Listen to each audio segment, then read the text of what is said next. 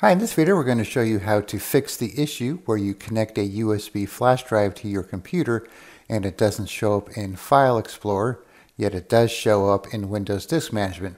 Okay, so I have a flash drive connected to this computer. So you can see here if I go to this PC, I have the C drive, the D drive, and the CD-ROM. If I re refresh it here, still nothing. So if I open Disk Management, by typing in Disk Management,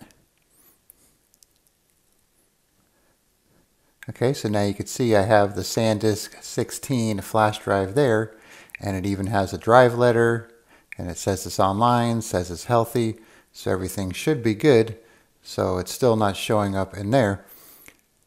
So I couldn't tell you exactly why this happens, but one way to get around it is to change the drive letter.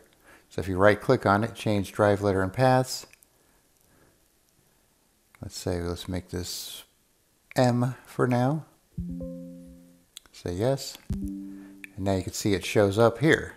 So now if we go back here, let's say we wanted to change it back to E.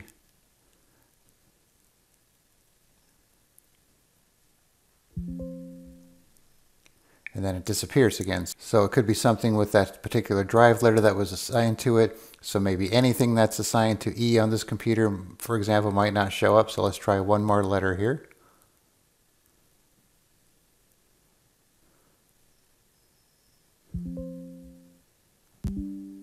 So you can see that works.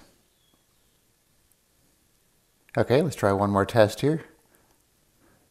Let's remove the letter. Okay, so now we don't have a drive letter assigned to it.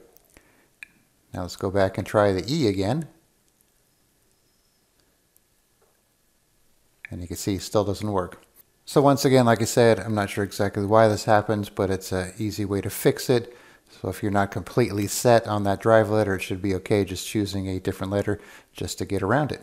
All right, thanks for watching and be sure to subscribe.